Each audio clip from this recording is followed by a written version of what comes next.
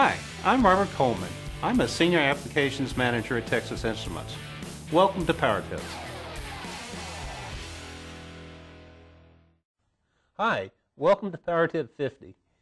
In this Power Tip, we will discuss the aluminum electrolytic capacitor, some of its benefits and some pitfalls that you might fall into if you're not careful in its application. Aluminum electrolytic capacitors are very popular because they're very low cost. They're probably the lowest cost approach to a power supply output filter. However, you have to put up with some downsides to these capacitors also. They're rather large compared to some other choices for the capacitors. They have a limited life. They have a built-in wear-out mechanism uh, that limits their life to 10 or 20,000 hours, especially at higher operating temperatures. And then also that their performance is pretty poor over temperature. So here's how you might calculate the lifetime of an aluminum electrolytic capacitor. You'll find that the lifetime of, of the capacitor is set by the base lifetime of the capacitor times some function of its operating temperature and a second function of the applied voltage to the capacitor. Typically, you'll see this baseline lifetime of 1,000 to 2,000 hours for capacitors. There, there are some that go as high as 5,000. Um, you'll see that operating temperatures on most aluminum electrolytic capacitors are limited to 105, although there are capacitors that only go to 85 degrees, and there are other capacitors that go to 125 degrees C. So the first function is a pretty simple one. This function that of the applied temperature to the capacitor is this relationship here that the F1 is equal to 2 to the delta T divided by 10. And so very simply, this says that the life of the capacitor halves for a 10 degree C rise in the operating temperature of the capacitor. So that means that if you have an application where you want to have a 25,000 hour life, you have to limit the capacitor temperature to about 65 degrees C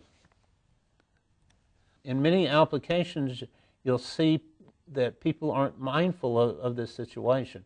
If you'll take apart many of the LED uh, replacement light bulbs nowadays, you'll find that inside those ballasts for those uh, light bulbs, you'll find a aluminum electrolytic capacitor. And these surely won't make the 25 year lifetimes that they're advertised on the LED lights. So the second function of the lifetime rating of the capacitor was the applied voltage. And here I've plotted the stress ratio of the uh, applied voltage to the life multiplier.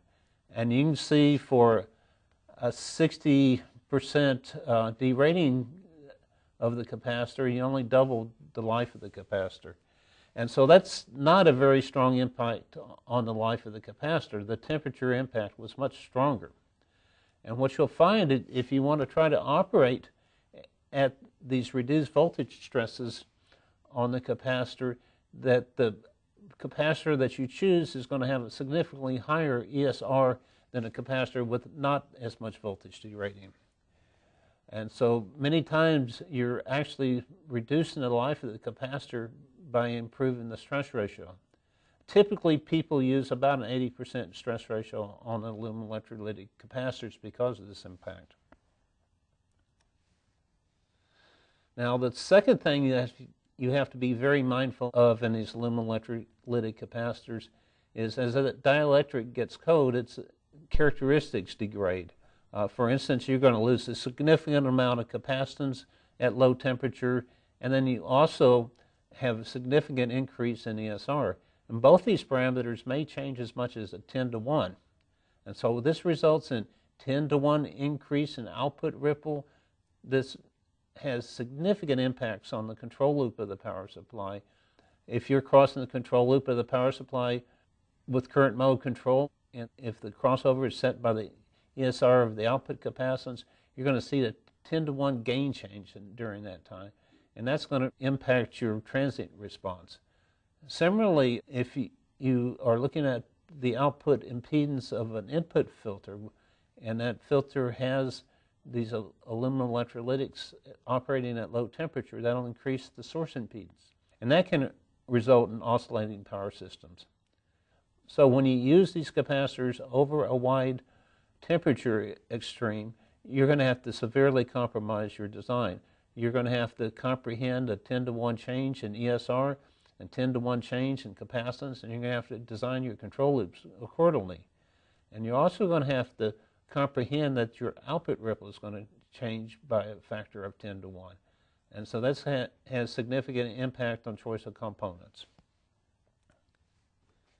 So aluminum electrolytic capacitors are very popular due to their low cost. However, you have to watch out for a couple of things. They're life limited, and if you operate them at high temperatures, uh, you may not achieve the desired system life. The life of the capacitor goes down by a factor of two for every 10 degrees that you run it hotter. And then finally, the impedance of these capacitors radically increases at cold temperature. For instance, at minus 40 degrees C, you have a 10 to 1 change in ESR and you have a 10 to 1 decrease in capacitance. And this can create all kinds of issues for you in your circuit, such as starting up at cold temperatures. That's it for this power tip. For more power tips, visit Power Management Design Line and search for power tips, or you can click on the link to all articles in the description section of this video. Thank you for your attention.